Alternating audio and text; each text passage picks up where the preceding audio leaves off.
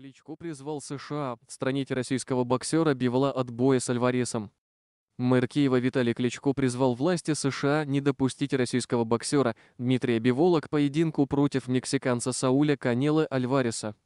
Бой запланирован на 7 мая и должен пройти в Лас-Вегасе. Важно, чтобы этому боксеру запретили драться в США, как и всем российским спортсменам запретили бы участвовать в международных соревнованиях.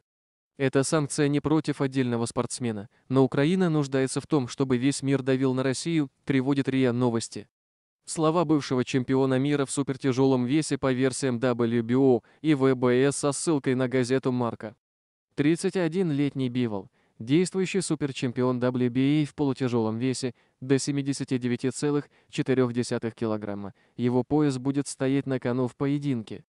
Всего на счету россиянина в профессиональной карьере 19 побед, 11 нокаутом в 19 боях, 31-летний Альварес – абсолютный чемпион мира во втором среднем весе до 76,2 килограмма.